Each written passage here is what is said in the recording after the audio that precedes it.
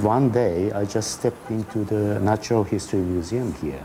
To me, I cannot judge whether this is a live uh, polar bear or dead polar bear.